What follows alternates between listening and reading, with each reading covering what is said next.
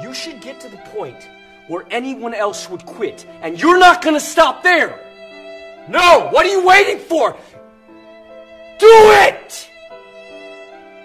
Just do it! Yes, you can! Just do it!